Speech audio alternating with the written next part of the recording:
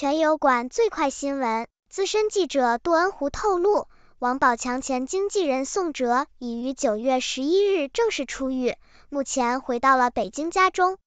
宋哲曾是王宝强的信任经纪人，却在二零一五年至二零一六年间涉及侵占资金案，被判刑六年。报道显示，宋哲服刑时间与之前的判决一致，可见没有获得减刑。六年的服刑期间，宋哲的家人承认，大部分款项用于购房、购车和旅行。有知情人透露，宋哲服刑期间瘦了很多，精神状态也不好。此前有关宋哲出狱的报道都被证实为假新闻。王宝强在二零一六年与马蓉离婚，而马蓉近年来消失在公众视线。订阅新闻极速递，最先知晓天下事。